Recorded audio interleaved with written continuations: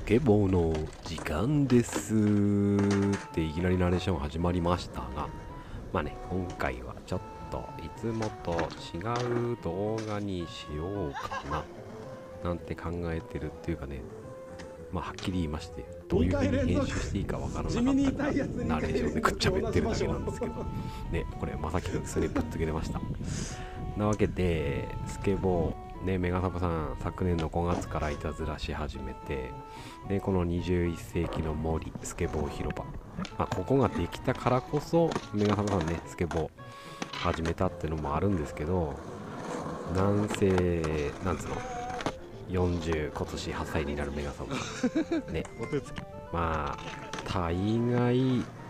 この年からスケボーやろうなんて考える人はほぼほぼいないっていうかね周りも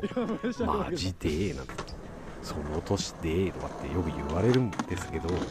まあね別に好きなことにチャレンジするのは何歳だっていいですしね。メガサさん正直スケボーチャレンジし始めてよかったと思ってます。よ。本当に。まあね一つは運動不足解消っていうのもありますしあとね体幹もかなり鍛えられるのもあるしで何よりこうやってねまあまだ1年にならないんですけどスケボー広場で出会った若者たち。まあ、若者だけではないんですけどね。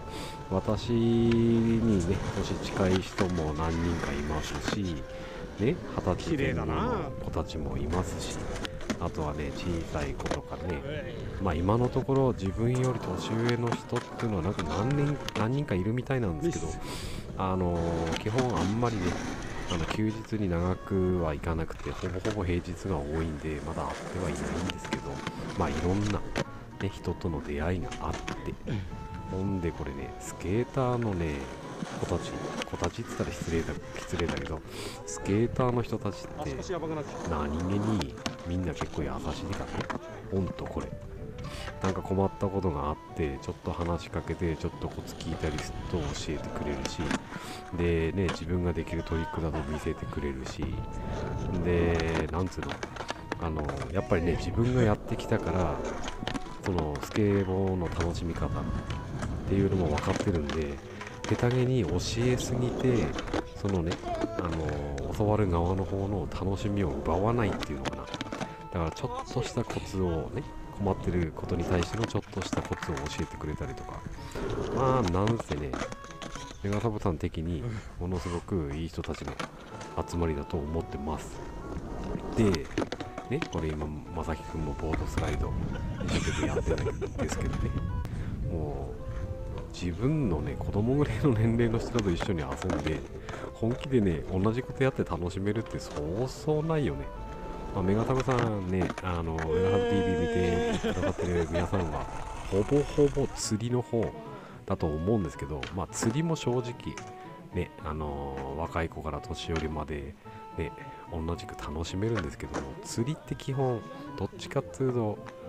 なんつうんだろうな、こう、うまい下手の部類っていうのが、何、微妙なんだよね。本当に上手い人ってさ、なんかあんま語らないっていうかさ、あの半端にできる人がちょっとねあの言葉悪いけど調子こくとかそういうのあるんですよ。でもスケボーに関しては やっぱりねきっちりできねえとやっぱりできないっていう。でその辺がやっぱこうなんかみんなでこれもねこうやってみんなで遊んでるじゃないですか。これまなみちゃんがなんかノーコンプライで変な板の回し方をまなみちゃんが一番綺麗に回せてたんですよ。そしたらみんなでこうなんていうの？あの負けず嫌いなところもあるかもしれませんがみんなでチャレンジ始めてこうやってね仲良くああじゃねえこうじゃねえなんつってねいろいろ。でこれあの太一くんが苦戦してたしねでメガサブさんもこれ途中から参戦したんですけどメガサブさん的にはその何？みんながやってるデッキの回し方すらできなかったけどね。飛んでっちゃうデッキね？まあでもこういうのでなんか和気あいあい楽しめるっていうのもスケボーのいいとこだと思います。ね。でどんな初心者だろうがどんな上級者だろうがやっぱりねやっぱやってると自分もそうだけど自分でもそうだけどやっぱ見てると大体この人がどのぐらいのレベルなのかなっていうのがなんとなくやっぱり分かる部分もあってでその人が簡単な技でも初心者の人がやっぱりメイクしたりとか上手くなりつつあると周りのみんなが喜んでくれるしほんとねなんつうんだろうスケボー始めてよかった。だから今ねなんかスケボーブームって呼ばれてますけどもあの初心者の方で本当に一生懸命練習したいんだけどこういう何スケボーのパークみたいなとこいっぱいなんか上級者の人がいてねなんか入りづらいなやりづらいなっていうのはあると思うんですけど